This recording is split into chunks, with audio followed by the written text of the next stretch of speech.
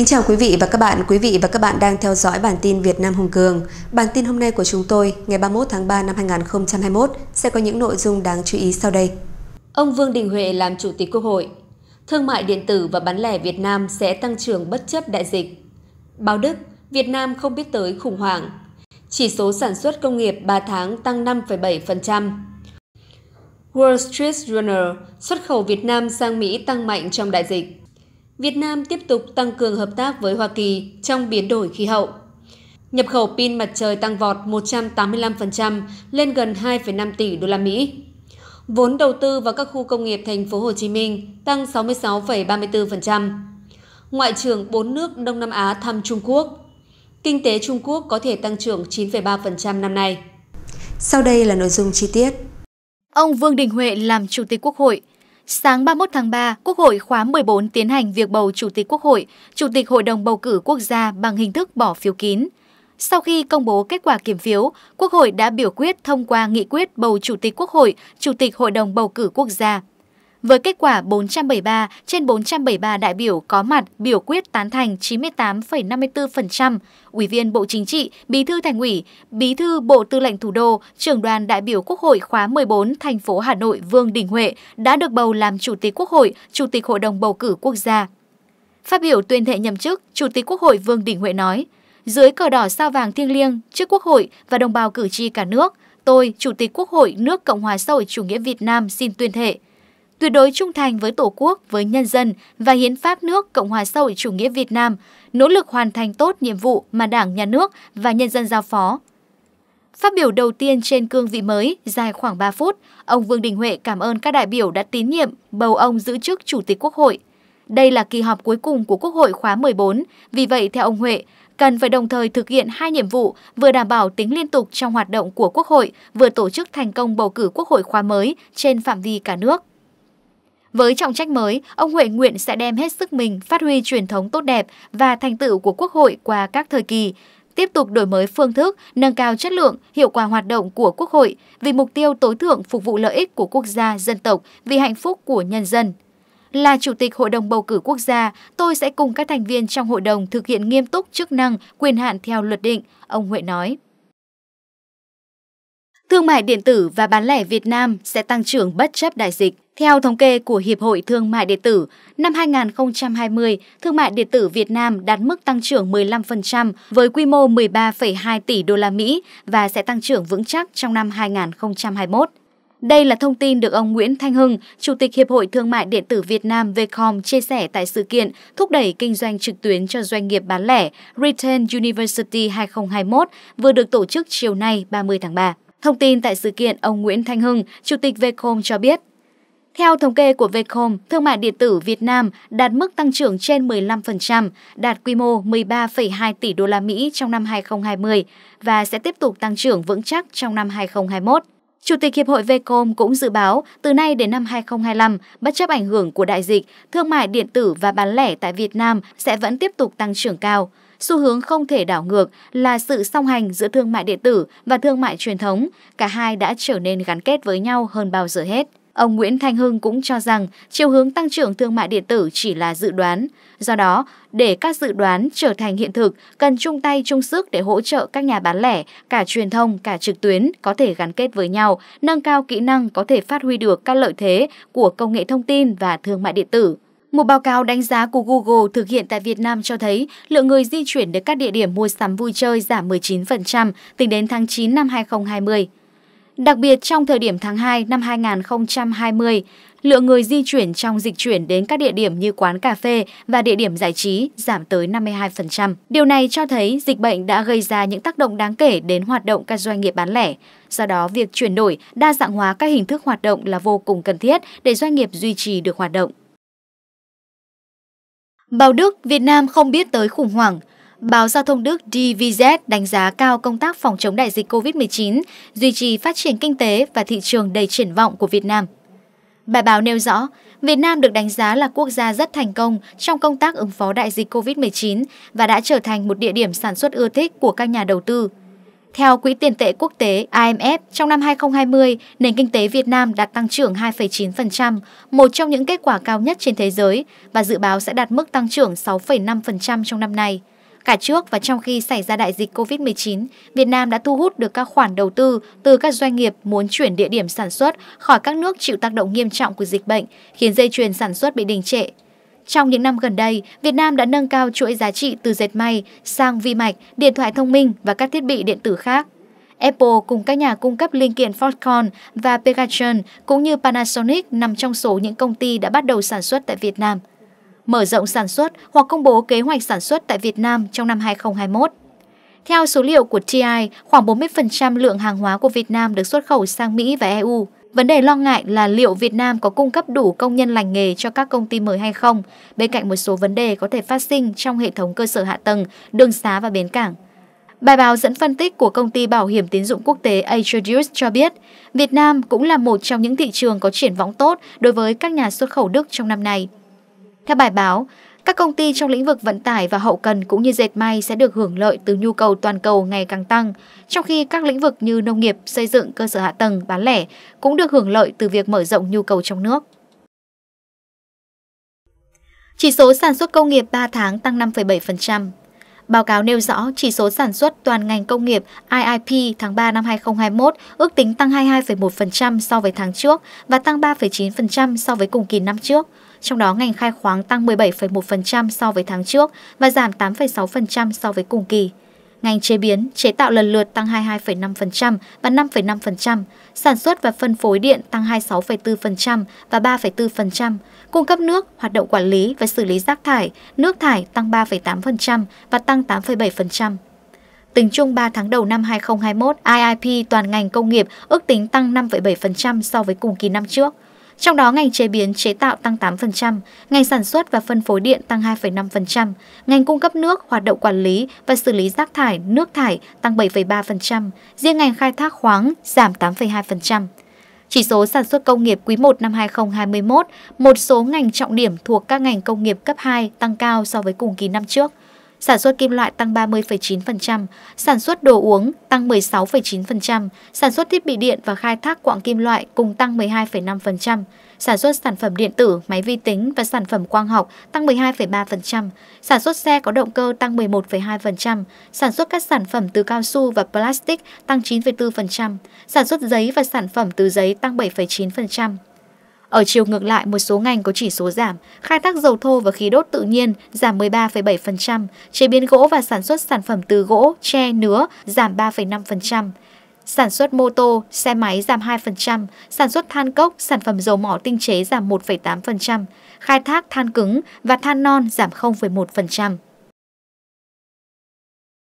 Wall Street Journal, xuất nhập khẩu Việt Nam sang Mỹ tăng mạnh trong đại dịch. Theo tờ Wall Street Journal, Mỹ đang chiếm tỷ trọng ngày một lớn trong hoạt động xuất khẩu của Việt Nam, đạt 29% tính đến tháng 1 năm 2021. Tờ báo này cũng đánh giá Việt Nam hồi phục tốt sau đại dịch COVID-19.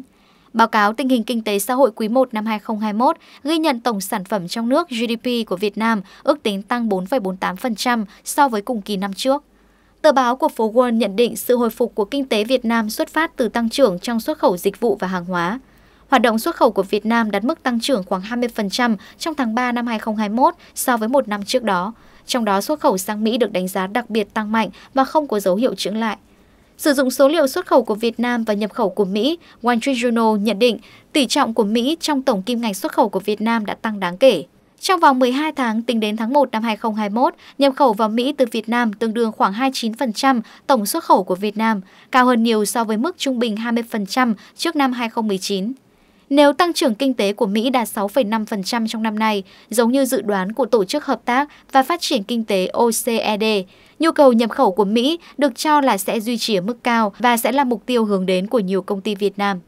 Ngoài ra, Wall Street Journal cũng đánh giá Việt Nam là một trong những nước kiểm soát đại dịch COVID-19 ấn tượng nhất thế giới, đặc biệt xét trong khung thu nhập của quốc gia.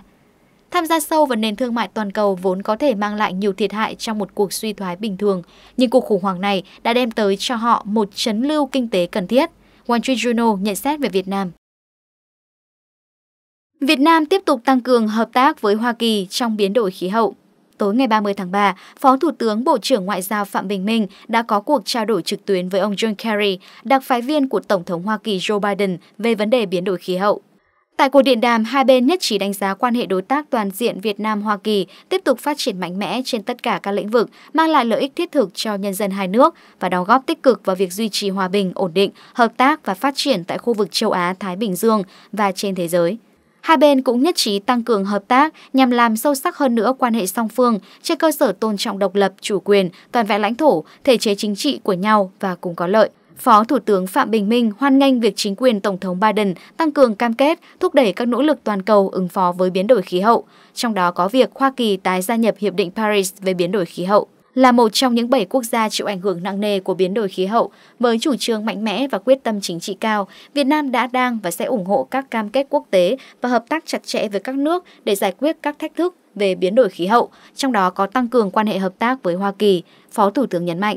Đặc phái viên John Kerry khẳng định Hoa Kỳ tiếp tục coi trọng quan hệ đối tác toàn diện với Việt Nam, tiếp tục tăng cường hợp tác, hỗ trợ các nước đang phát triển, trong đó có Việt Nam ứng phó với biến đổi khí hậu. Hai bên cũng đã trao đổi về tình hình triển khai Hiệp định Paris về biến đổi khí hậu trên thế giới, cũng như triển vọng hợp tác song phương Việt Nam-Hoa Kỳ trên các lĩnh vực, nhất là ứng phó với biến đổi khí hậu.